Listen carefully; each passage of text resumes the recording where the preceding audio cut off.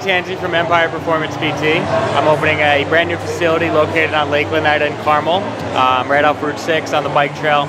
Um, has physical therapy, performance training, personal training, a lot of group fitness classes. So you can check us out on the web on the web at www.empireperformancept.com.